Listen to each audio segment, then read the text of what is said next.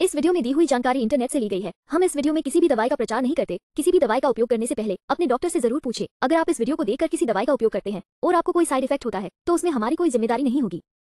L D D bioscience L D सोलह prostate drops एक विशेष फॉर्मुलेशन है, जिसका उद्देश्य तीव्र और पुरानी प्रोस्टेटाइटिस से जुड़े लक्षणों से जूझ रहे व्यक्तियों को राहत प्रदान करना है।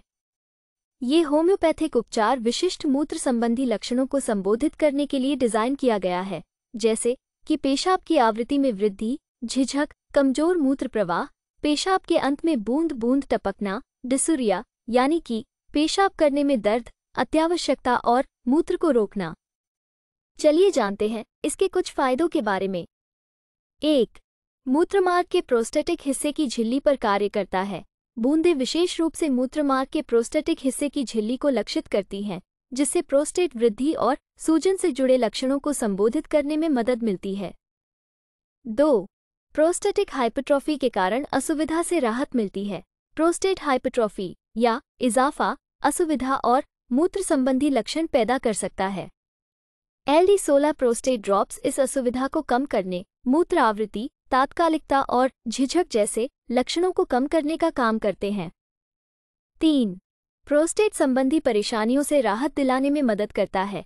ये बूंदें प्रोस्टेट संबंधी विभिन्न समस्याओं से राहत प्रदान करने के लिए बनाई गई हैं, जिनमें पेशाब की बढ़ती आवृत्ति, कमज़ोर मूत्रधारा, पेशाब के अंत में बूंद बूंद टपकना और डिसुरिया, यानी कि दर्दनाक पेशाब शामिल हैं। चार, मूत्र के आसान मार्ग में मदद करता है। प्रोस्टेट ग्रंथि और मूत्रमार्ग को लक्षित करके एलडी सोलह प्रोस्टेट ड्रॉप्स का उद्देश्य मूत्र के प्रवाह में सुधार करना है। इसके परिणामस्वरूप मूत्र का मार्ग आसान और सहज हो सकता है, जिससे झिझक और कमज़ोर मूत्र प्रवाह जैसी कठिनाइयों को कम किया जा सकता है।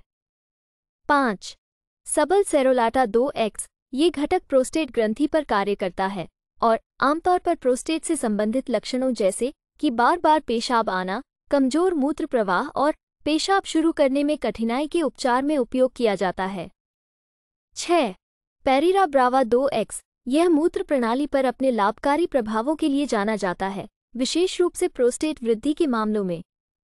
पैरेरा ब्रावा पेशाब करने में कठिनाई, पेशाब करने में दर्द और मूत्र प्रतिधारण जैसे लक्षणों को कम करने में मदद कर सकता है।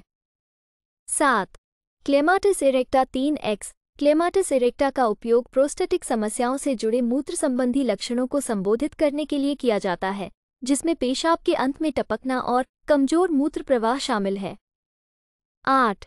पल्सेटिला निगरिकन्स तीन एक्स। इस घटक का उपयोग अक्सर मूत्र संबंधी विकारों के लिए किया जाता है, जिसमें बार बार पेशाब आना और मूत्राशय के अधूरे खाली होने की अनुभूति शामिल है। इसका उद्देश्य असुविधा से राहत देना और स्वस्थ मूत्र प्रवाह को बढ़ावा देना है। नौ। कोनियम मैकुलेटम पाँच एक्स। कोनियम मैकुलेटम प्रोस्टेट ग्रंथि पर इसके प्रभाव के लिए जाना जाता है और आमतौर पर पेशाब के अंत में झिझक कमज़ोर मूत्र प्रवाह और टपकाव जैसे लक्षणों को संबोधित करने में उपयोग किया जाता है। दस, चिमाफिला उम्बिल्टा तीन एक्स, चिमाफिला उम्बिल्टाटा मूत्र प्रणाली पर अपने प्रभाव के लिए जाना जाता है और बार बार पेशाब आना, पेशाब के दौरान जलन और मूत्र प्रतिधारण जैसे लक्षणों को कम करने में मदद कर सकता है। वीडियो को पूरा देखने के लिए धन्यवाद। अगर आपको वीडियो अच्छी लगी हो तो वीडियो को ज़रूर लाइक करें। साथ ही हमारे चैनल को सब्सक्राइब करके नोटिफिकेशन बेल को ऑल नोटिफिकेशन पर सेट करें।